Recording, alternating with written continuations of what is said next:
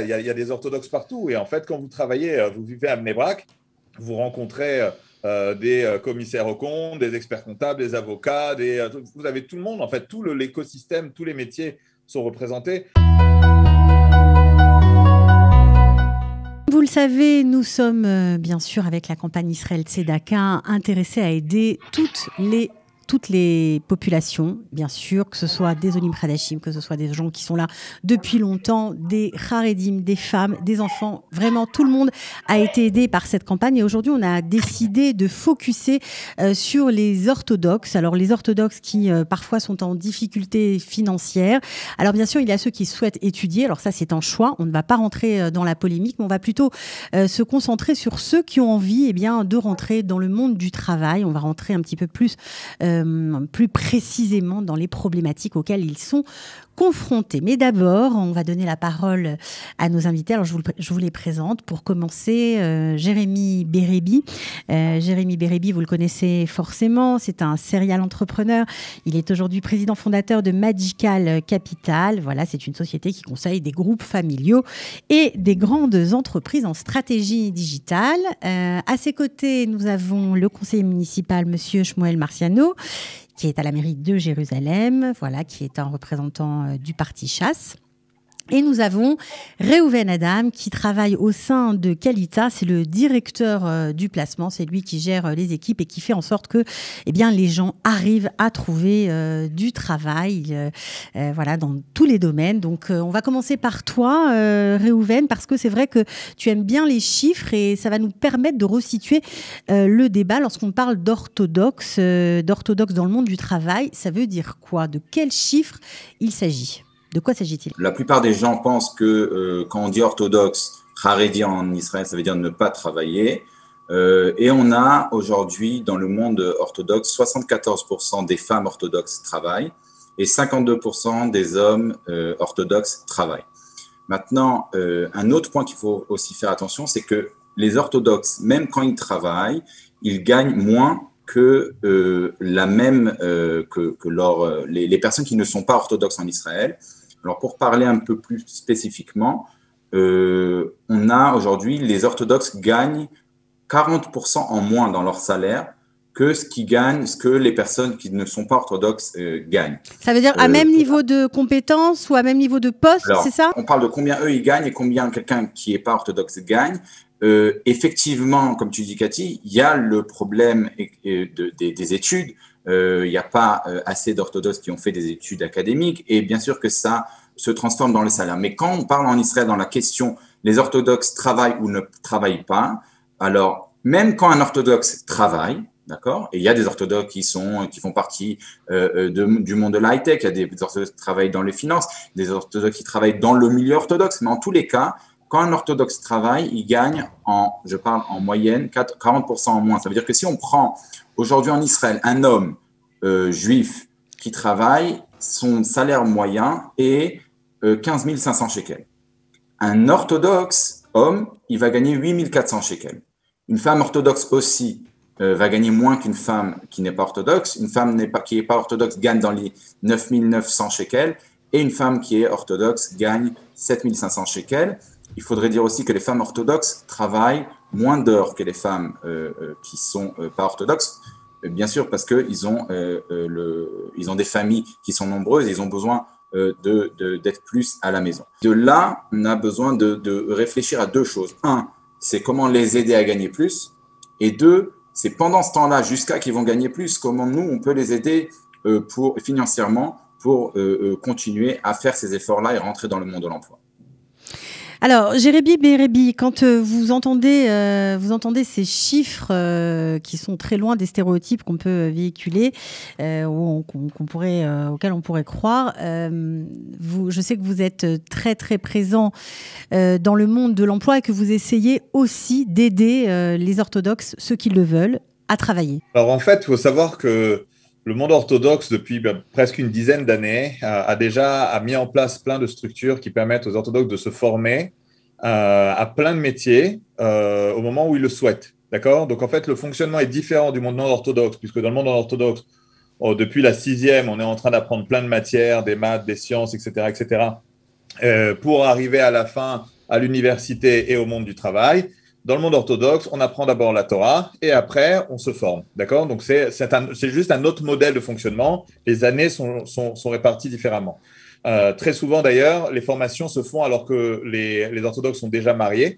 Euh, ce qui fait que euh, voilà, les choses sont certaines fois un peu plus compliquées parce qu'il faut à la fois gérer sa formation, la parnassa de sa maison au même moment et encore son étude, puisque les orthodoxes ne veulent pas arrêter l'étude en allant travailler. D'accord? C'est pas on étudie ou on travaille, c'est on étudie et on travaille, ou alors on étudie à 100%.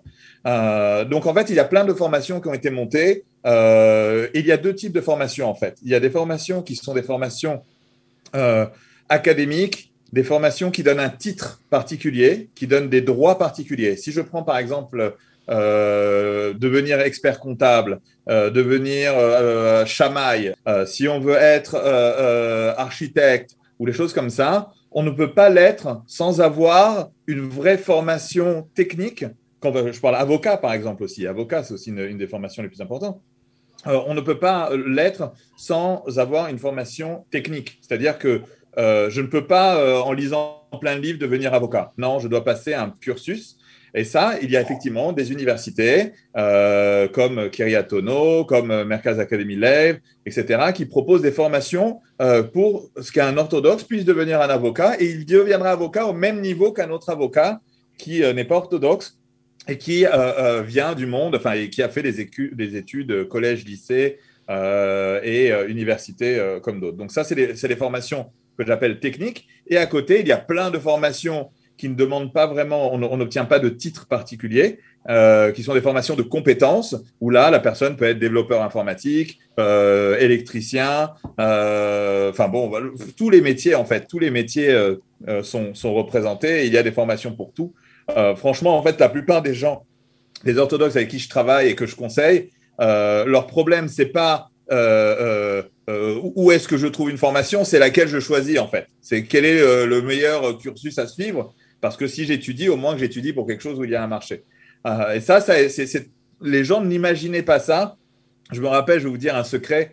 Euh, c'est un petit scoop. Il y, a, six ans, je crois cinq, six ans, euh, Yair Lapid était rentré au gouvernement Netanyahou et il était devenu ministre des Finances. Et il nous avait invité, en fait, plusieurs représentants de la communauté orthodoxe pour venir discuter voilà, de comment faire entrer les orthodoxes dans le monde du travail. Et il est arrivé avec plein d'idées et il a listé les idées et on lui a montré qu'en fait, chaque idée qu'il avait était déjà en place. Euh, absolument tout. Il disait il faudrait qu'on fasse euh, euh, de l'high-tech avec des startups. oui, voilà les noms des startups qui sont des startups high-tech, etc.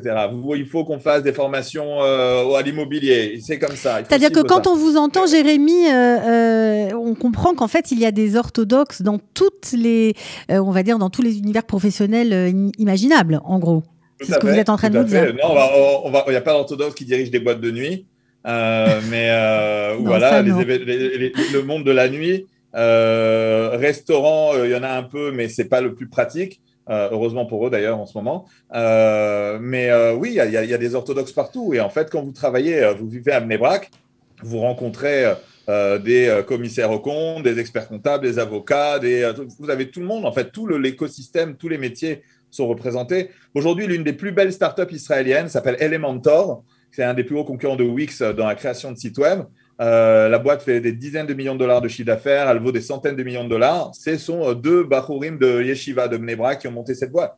Euh, donc, Elementor, il a des coworking space exceptionnels en personne, à Achim, à Bnebrak, où il y a donc plein, plein, plein d'orthodoxes qui travaillent entre eux.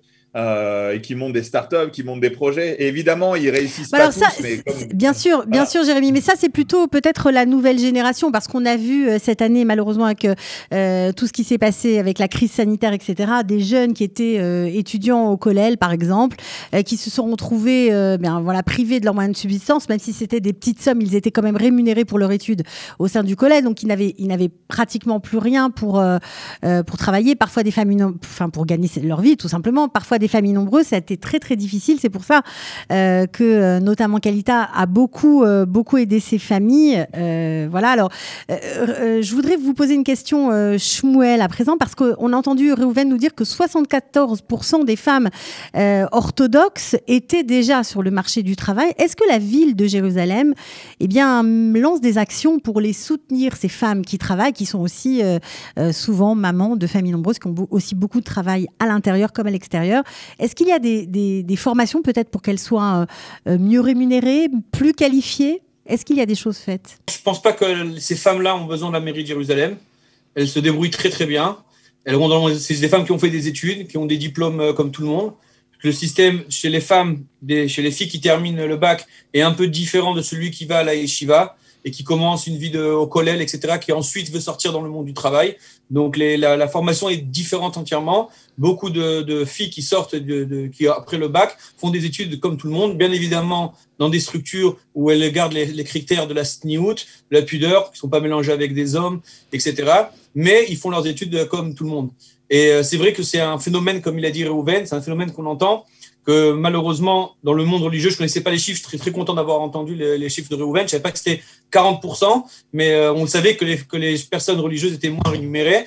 Et ce qui fait énormément de peine. Ils savent que les religieux, les orthodoxes, se contentent de, moins que quelqu'un de normal. Donc, ils profitent de ça pour leur proposer du travail et les payer euh, moins cher. Je ne sais pas si la mairie de Jérusalem ou comme la mairie de Bnebrak ou la mairie de Netanya peut faire quelque chose. C'est pas au niveau de la, la municipalité, c'est au niveau, à mon avis, plus de la à l'échelle nationale euh, de, de, de créer une loi qu'on ne peut pas faire une telle différence entre une, femme qui vient travailler ou un homme qui vient travailler qui est orthodoxe et quelqu'un qui ne vient pas, euh, qui vient pas du monde orthodoxe, c'est de gagner 40% euh, euh, plus. La seule pourtant, pourtant on, a, on, a, évoqué les nouveaux défis, il faut les aider. Il y a des, familles qui ont besoin d'être aidées parce que même si la femme travaille, les, sommes qui sont ramenées à la maison ne sont pas suffisantes. il y a des familles qui sont dans une grande pauvreté au niveau du monde orthodoxe. Alors il y a ceux qui réussissent, mais il y en a aussi qui sont vraiment, qui ont besoin vraiment d'un coup de main. Est-ce que des, des programmes sont mis en place pour ça euh, D'abord, euh, d'abord peut-être que si ces familles gagnaient ces 40% en plus, euh, comme quelqu'un d'autre, ils, ils, seraient débrouillés, ils n'auraient pas eu besoin de cette, de cette, cette zaka, de, que ce soit de Kalita ou de d'autres, de d'autres, de d'autres organisations. moi-même, en détendant un keren à tzedaka, je, je tiens moi-même une caisse de tzedaka. je peux vous dire qu'il y a beaucoup de gens qui ne sont pas religieux, francophones, de Achoma, de d'autres quartiers de Jérusalem pas, pas religieux, et qui sont aussi dans, dans des... Dans bien sûr, bien sûr. Euh, voilà. Juste, pour, juste, pour, juste pour les, les 40%, c'est important de dire, il y a un, un, premier, un problème qu'on a dit, c'est effectivement le problème des études. C'est-à-dire, si quelqu'un n'a pas euh, une licence, c'est sûr qu'il va gagner même dans le marché normal, il va gagner moins que quelqu'un qui n'a pas, euh, qui n'a pas fait d'études. je parle, on, on, parle aussi d'un autre problème, c'est, et, et Shmuel a parlé un petit peu de ça, a touché ce sujet, c'est important, oui, de dire que pour, c'est vrai que pour les mêmes, parfois, pour les mêmes métiers, les Haredim sont payés moins. Qu'est-ce qui se passe? Aujourd'hui, un Haredi ou une Haredite qui veulent travailler, ils ont fait une formation dans la high-tech. Ok, c'est bon, ils ont la formation, ils sont développeurs. Mais ils ont leurs conditions de travail. Ça veut dire qu'une femme Haredi va dire Moi, je veux pas travailler dans un endroit où il y a des hommes. Moi, je veux travailler dans un endroit où j'ai, euh, euh, comment dire, une cuisine euh, glatte et pas une cuisine avec les autres travailleurs. Moi, je veux un Internet comme si. Et moi, je veux terminer à 3 heures parce que mes enfants, ils sortent de l'école. Alors, tout ça, il y a des sociétés aujourd'hui qui ont pris et qui ont fait à Modine, etc., des endroits pour les Harediotes, pour qu'ils travaillent dans leurs conditions. Mais eux, ce qu'ils viennent et ils disent, nous, on, leur paye, on les paye moins parce que ça nous coûte de l'argent de euh, faire des centres spéciales pour, euh, euh, pour ces femmes-là. Et de là, en fait, leur, salaire est plus bas. C'est ça qui explique la diminution, enfin l'écart de salaire entre les, les populations, d'accord Oui, mais, mais, mais, mais, il, faut, il faut être clair, que, il, faut être, il faut être honnête que ça ne coûte pas autant. Ça coûte bah pas autant. Ça coûte peut-être, mais ça ne coûte pas autant, de un. Et de deux, d'un autre côté, ce qu'eux, ils regardent, je ne veux pas rentrer maintenant dans, les, des conflits politiques, c'est comme aujourd'hui la droite dit, euh, regardez, euh, euh, les Arabes israéliens doivent se comparer aux Arabes d'autres pays dans le Moyen-Orient. C'est à peu près ce qu'ils disent aussi ces sociétés. Regardez les autres femmes harédiotes qui travaillent dans le monde orthodoxe, combien ils gagnent, et combien les femmes qui travaillent chez nous gagnent. Et là, c'est vrai qu'ils ils gagnent plus dans le monde de la high-tech. Et avec tout ça, ils, arrangent. Alors, c'est vrai que c'est une amélioration qu'il y a aujourd'hui dans les dernières années dans le monde orthodoxe. c'est mieux que ce que c'était il y a 10, 10, ans ou 15 ans. mais il y a encore à faire et il y a, a d'abord pour les aider et qu'ils ne soient pas trop dépendants euh, des sociétés qui vont décider pour eux combien les payer parce que ça leur coûte euh, comme ci ou comme ça. Alors Jérémy Bérébi, euh, qu'est-ce qu'on pourrait faire comment, comment les aider au mieux? Qu'est-ce qu'il faut changer dans le système? Alors déjà, il y a deux, il y a deux périodes qu'il faut traiter séparément. Il y a la période d'après-Corona, où là, effectivement, des gens qui avaient une super parnassa, même en état orthodoxe, l'ont perdu. mais ça, donc, c'est plus ni orthodoxe ou pas orthodoxe. On a, il y a beaucoup. C'est la crise du Covid pour tout le monde, bien sûr. Et là, euh, et là, il faut s'occuper de ces gens-là pour les aider à repartir et à se relancer. Alors, il y a deux types de personnes. Il y a ceux qui vont euh, devoir pouvoir continuer leur métier précédent, d'accord? Euh, Je prends un exemple, ils louaient des salles de, de, fête, qui est un super business, hein, de louer des salles de fête ou d'être décorateur de fête, etc. Euh, voilà, et si les fêtes réouvrent, bah, à ce moment-là, ils ont une parnassa qui continue et qui reprend. Et donc là, il faut les aider juste à euh, euh, couvrir leurs découvertes et les, galères qu'ils ont passées jusqu'à maintenant. mais par contre, si effectivement le métier sur lequel, ils ont, sur lequel ils travaillent ne va plus exister après, et il y aura des métiers qui vont plus exister de la même manière, peut-être d'ailleurs que les fêtes vont être beaucoup plus, plus, plus simples qu'avant, les budgets vont être beaucoup moins importants qu'avant. On ne sait pas en fait. Bah, à ce moment-là, il faut, il faut apprendre à se reformer. Et ce que je dis, ce que je suis en train de dire, en fait, c'est pas euh, destiné uniquement au monde orthodoxe, c'est à tout le monde. Euh, c'est effectivement les aider à juste reprendre, le, reprendre en main euh, leur, vie, leur vie pour que, effectivement, pouvoir continuer sur un marché qui va, qui va désormais se réouvrir, Bezrat Hachem, et qui va permettre à beaucoup de gens de retravailler comme il se doit. Alors, Réhouven, est-ce que, euh, en général, euh, parmi la population euh, des nouveaux immigrants qui viennent à Calita pour chercher du travail, vous accueillez aussi et vous aidez aussi les orthodoxes Qu'est-ce que vous proposez comme service? Comment vous faites pour vous occuper d'eux au mieux? Il faut faire une séparation entre les orthodoxes à la française et les orthodoxes qui sont plutôt à l'israélienne.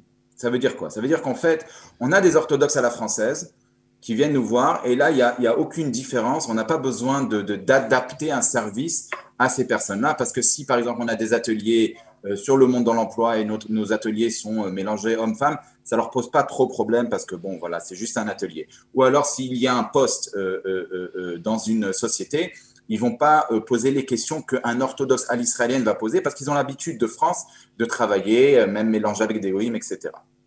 À ce moment-là, ces personnes-là peuvent être placées facilement comme tout, euh, toute personne. Maintenant, ça commence à être beaucoup plus compliqué quand la personne est orthodoxe à l'israélienne. Ça veut dire, je vous donne un exemple, la semaine dernière, on a euh, une candidate qu'on a rappelée, on a un poste d'assistante dentaire, mais elle pose la question si le médecin, est-ce que le dentiste est un homme ou c'est une femme Alors, alariquement, il n'y aurait pas de problème de travailler euh, en tant qu'assistante dentaire d'un dentiste homme. Le problème se pose au point de vue de comment elle, elle vit sa religion. Elle préfère, travailler, elle préfère travailler avec une femme, en gros. Ah, effectivement, euh, cette personne, à, partir de ce moment-là, elle a fait un choix, mais elle a fait un choix qui lui ferme à peu près 60-70% des possibilités d'être assistante dentaire, parce qu'encore une fois, elle a mis tous les euh, dentistes hommes de côté. Ça, c'est un travail qui, est, qui doit être adapté à ces personnes-là. Et ça peut être la même chose, j'en ai parlé tout à l'heure, dans le, je ne veux pas travailler avec Internet, je ne veux pas travailler avec des hommes, je veux travailler avec des femmes, etc. etc. Maintenant, qu'est-ce qu'on qu'est-ce qu'on fait à ce moment-là? À ce moment-là, on les oriente vers des centres qui sont spécialisés dans le monde orthodoxe. Alors, juste pour nos auditeurs qui ne sont pas orthodoxes et qui ne connaissent pas ce monde et qui se posent la question, pourquoi on devrait euh, euh, aider euh, des orthodoxes euh, financièrement, euh, au point de vue de la tzedaka, qui, ont, qui ne travaillent pas ou qui travaillent moins, etc. etc. le monde orthodoxe a toujours travaillé. Dans les 70 dernières années, depuis qu'il y a eu l'État d'Israël, il y a eu une décision qui a été prise par les leaders de, de, de, de, cette communauté de s'investir et étudier la Torah sans travailler. Maintenant, dans, pendant ces années-là, les personnes qui aidaient ces familles, que ce soit des donateurs, on connaît les donateurs des États-Unis, mais aussi dans les familles. C'est-à-dire que vous prenez aujourd'hui un orthodoxe qui a 40 ans, 50 ans. Son père ou son grand-père avait un métier, travaillait, avait une parnassa.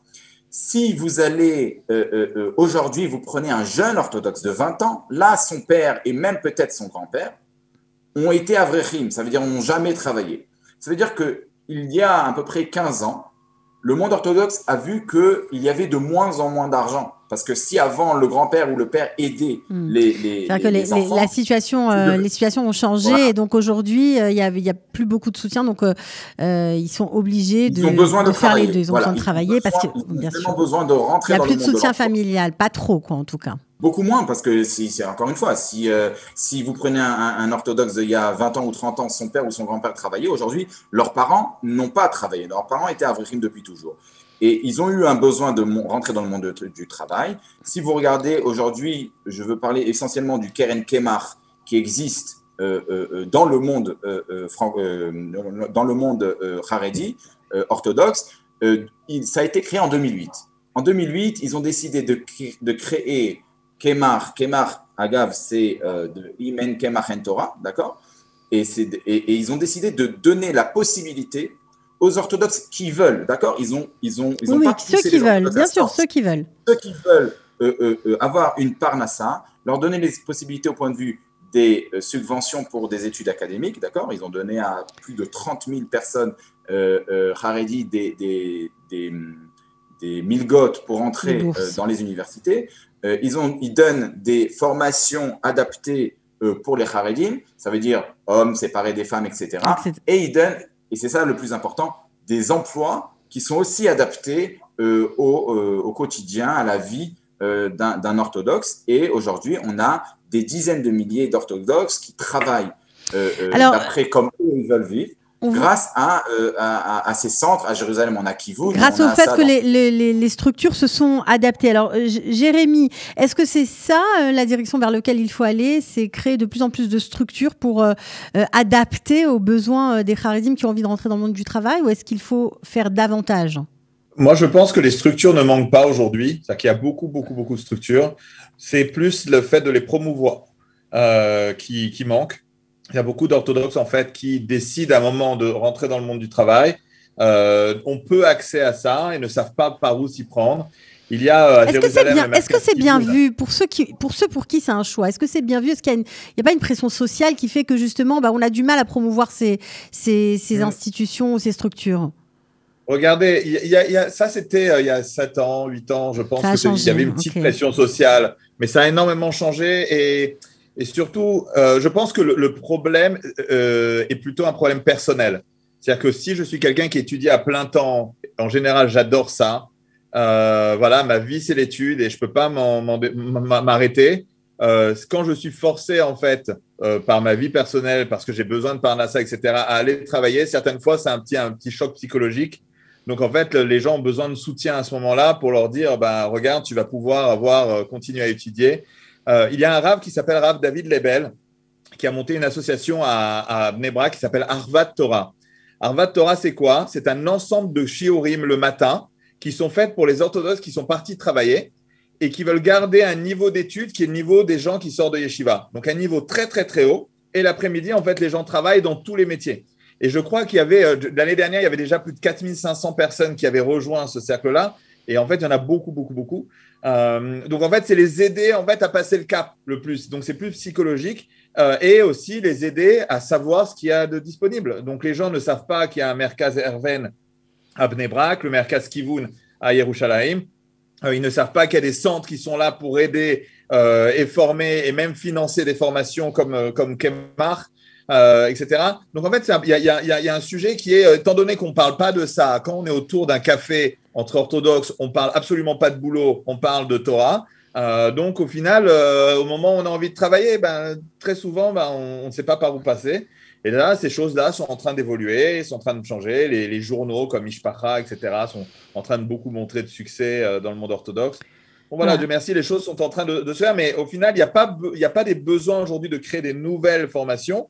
Il y a plus le fait de, effectivement, d'aider les gens à les connaître. Par contre, le point qui manque, ça va être d'aider les gens à trouver leur job.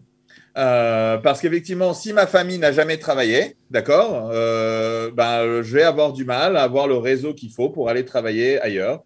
Euh, donc, donc voilà, le, réseau, etc. Donc, nous, on a monté, dans le monde de la high-tech, on a monté une association qui s'appelle Kamatech, qui est une association qui aide les gens de la high-tech à rencontrer des gens de la high-tech du monde non orthodoxe et c'est énorme aujourd'hui. On parle de milliers, de dizaines de milliers de personnes qui font partie de ce monde-là pour les aider en fait à avoir un réseau et savoir vers qui se tourner quand ils cherchent, quand ils cherchent du travail. Et c'est pour les hommes et les femmes ou simplement pour les hommes? Tout à fait, tout à fait. Pour les deux. Pour les hommes et les femmes, bien sûr. et ça fonctionne très bien. Ben, bravo pour cette initiative. J'imagine que ça, ça doit aider beaucoup de gens. Alors, est-ce que ça vous inspire, euh, euh Shmuel Marciano? Pourquoi pas pour euh, lancer, ou en tout cas promouvoir euh, ce qui existe déjà, comme nous suggère Jérémy Bérébi, sur Jérusalem, et puis surtout pour, ben voilà, pour donner peut-être accès au marché du travail à ceux qui en ont besoin. Hein. Je vous rappelle que euh, on, est, on est vraiment tous victimes, hein, que ce soit orthodoxes ou, les autres. Mais là, aujourd'hui, on focus sur ce sujet-là euh, de la crise du Covid. Ça a été très difficile. Il y a beaucoup de collègues qui ont fermé. Il y a beaucoup de,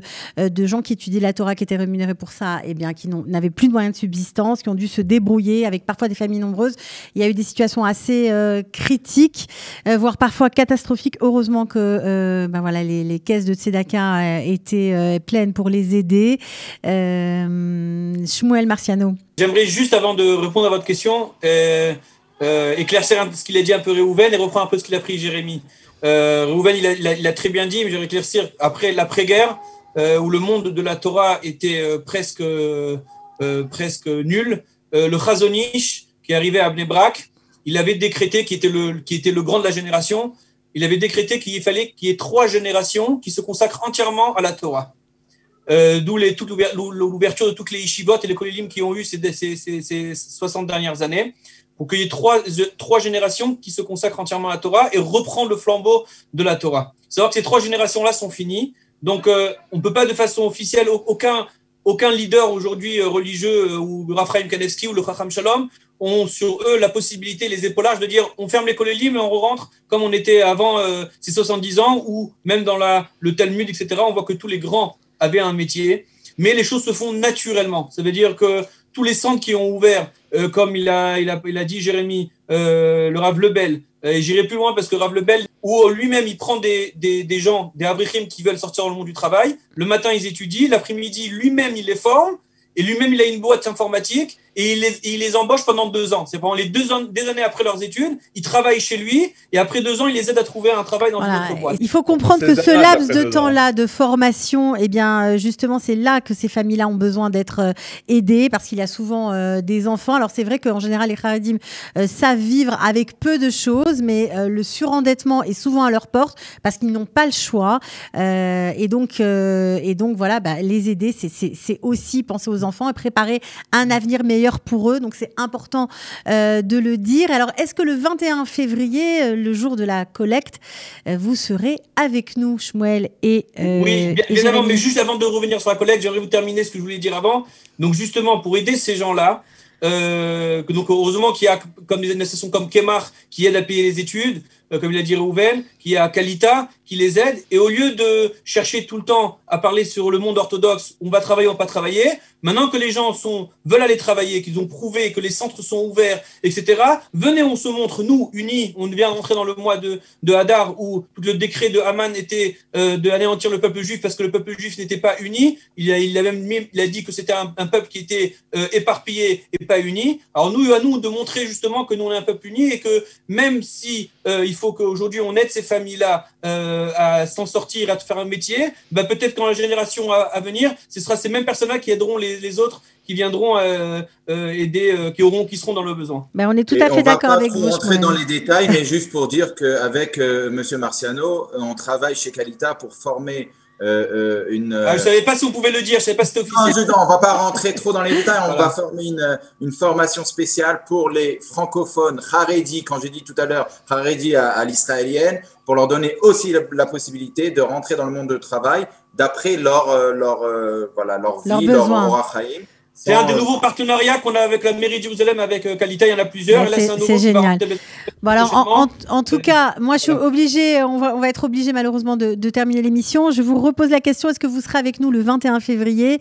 Euh, Qu'est-ce que vous avez prévu de faire pour aider cette merveilleuse, et c'est vrai que c'est une merveilleuse opération d'union parce qu'il y a toutes les associations, parce que euh, la caisse de, de, la Tzedaka, de la campagne 2021 Israël Tzedaka, bah, Kalita, c'est pour les soldats seuls, c'est pour les Haredim, c'est pour les enfants. Pour les familles monoparentales. Vraiment, le but est d'aider chaque juif en Israël, chaque juif francophone qui en a besoin. Alors, qu'est-ce que vous allez faire, vous, pour aider tout, ce monde-là? Bah, Tout d'abord, de publier cette vidéo qu'on a, qu a fait faire aujourd'hui, parce que je pense que c'est un message important et que beaucoup de gens ne savent pas ce que Réhouven euh, sait, ce que Réhouven a dit, ce que Jérémie a dit, euh, parce qu'ils sont, ils, malheureusement, ils ne sont pas dans le monde religieux, donc ils ne savent pas ce qui se passe. Le monde religieux est un monde, est un monde très uni, très organisé, etc.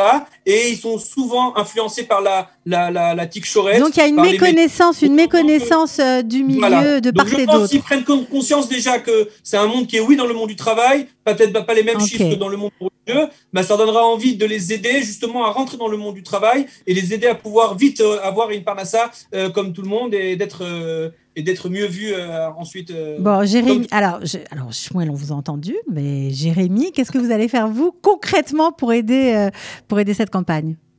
On, on ah, pour aider cette campagne. Parce que si c'est pour aider les orthodoxes, je fais ça depuis 10 ans. euh, Non, non, la campagne de la Donc, euh, Tzedaka, non. Voilà, la campagne de la Tzedaka, mais on va la promouvoir, Bezrat Hashem.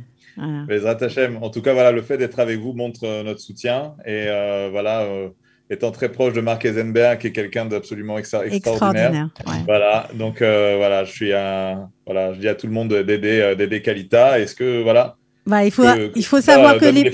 Bien sûr que les petits dons, euh, évidemment, sont les bienvenus. Et il faut savoir que 100% de vos dons seront reversés aux familles. Il n'y a pas de frais, de frais de structure. Les frais de structure sont pris en charge par Calita. Euh, voilà, donc vraiment, je, merci d'avoir été avec nous tout d'abord. Et Rouven, merci pour le travail. Merci Cathy, merci euh, Jérémy et Shmuel, c'était un plaisir. Et puis j'espère qu'on aura l'occasion euh, voilà, de, de, de remettre ce genre de sujet de société euh, sur le devant de la scène. Euh, ça fait du bien pour, euh, pour le Ham Israël, je pense. C'est clair.